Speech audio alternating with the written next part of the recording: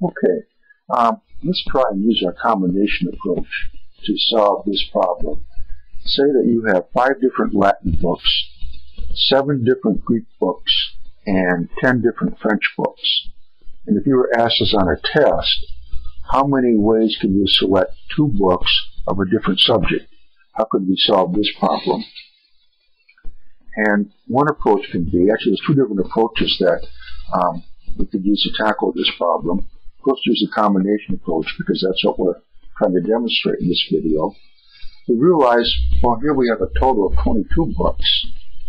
So if we first ask this question, what's the total number of ways that we can select two different books out of this pile, say, of 22 books?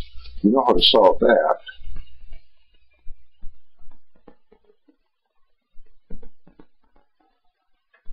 That's just this, which we can figure out pretty quickly. This is 22 factorial divided by 22 minus 2. That's 20 factorial times 2 factorial.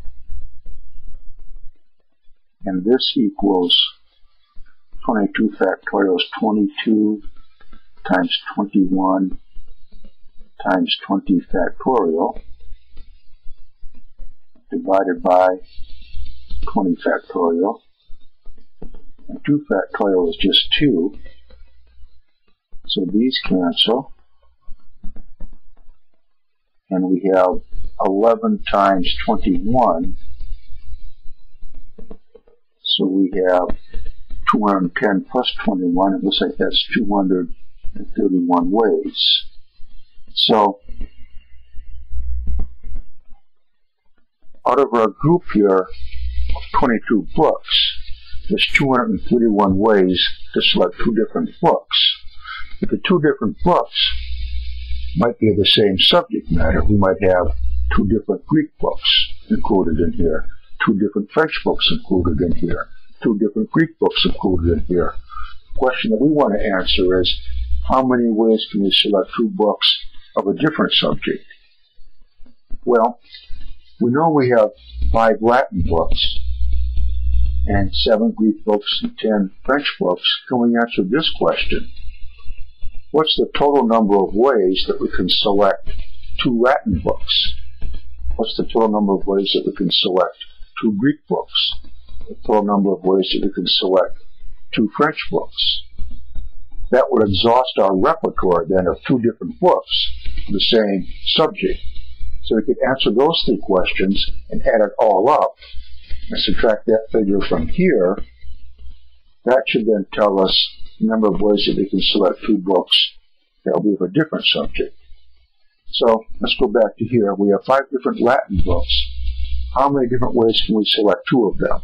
Of course, the order doesn't matter, and we know how to figure that out. That's pretty straightforward. It's just this. Five Latin books, we're going to select two of them. The order doesn't matter. And this is equal to 5 factorial divided by 5 minus 2 is 3 factorial times 2 factorial. And that equals 10. So there's 10 ways to select two Latin books.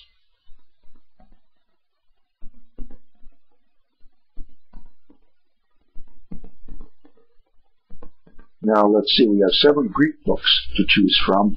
How many different ways can we pick out two of them? Of course, that's just going to be this, which equals 7 factorial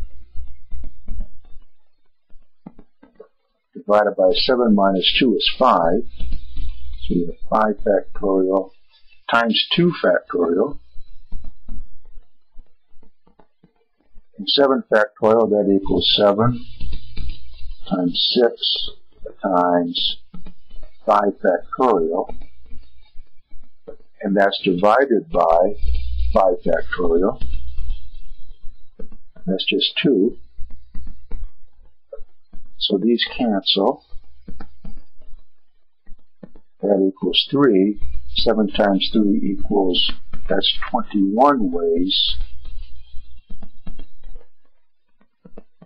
to select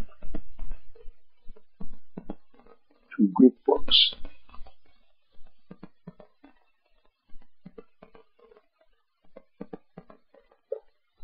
And we also have 10 different French books. How many ways can we select two books from them? Of course, we know what the setup for that is. 10 French books, when you select two of them. The order doesn't matter. So this will equal 10 factorial divided by 10 minus 2 is 8.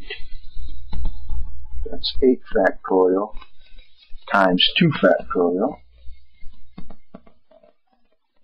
And this equals 10 times 9 times 8 factorial divided by 8 factorial. That's just 2. So these cancel. That's 5. So that equals 5 times 9. That's 45 ways to select two French books.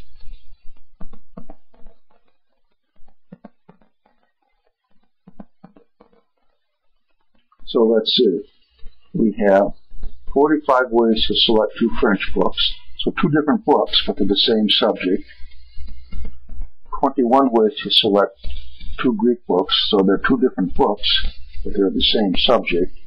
And 10 ways to select two Latin books. Again, two different books, but these are the same subject. So here we have 45, 55, we have 76 ways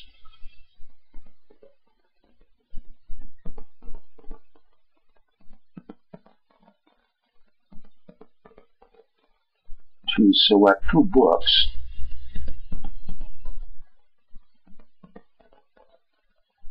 of the same subject.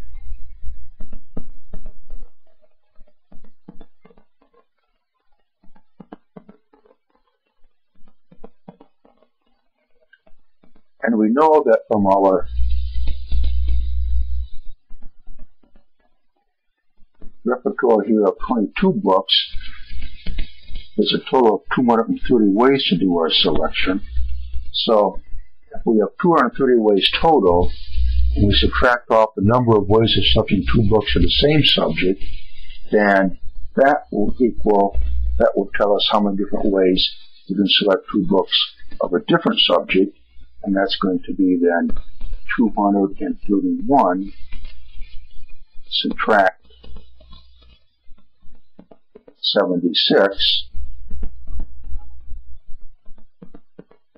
looks like this would be 155.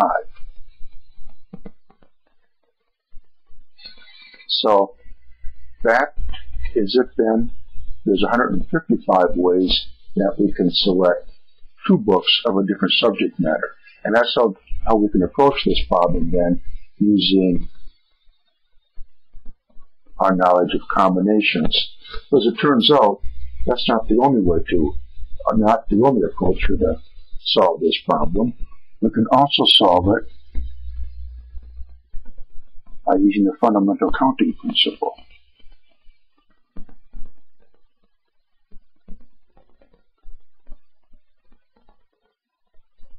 For example, we know we have these books, and we want to know how many ways can we select two books of a different subject. Well, let's ask ourselves, what's the total number of ways, say, that we can choose a Latin book,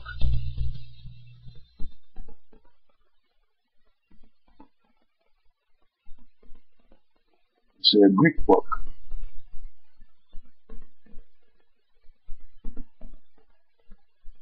those are different subjects.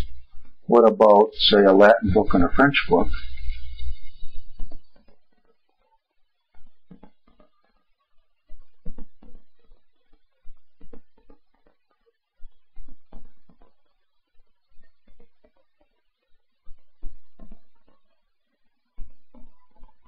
And let's see, what other possibility we have? How about um,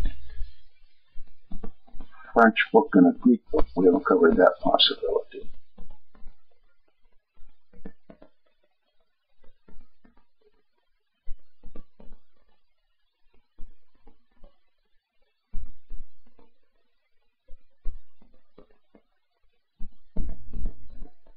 And it looks like these would be the total, the three different possibilities here of selecting two books of a different subject matter.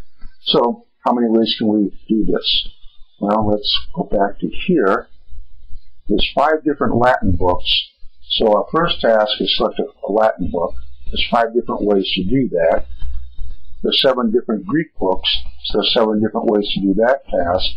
So to do both of them, using our fundamental counting principle, that's 5 times 7 equals 35. So there's 35 different ways that we can choose a Latin book and a Greek book. What about a Latin book and a French book? So here we're performing two tasks. We're going to select a Latin book and we're going to select a French book. There's five different ways to do the first task, ten different ways to do the second task. This is going to be 5 times 10.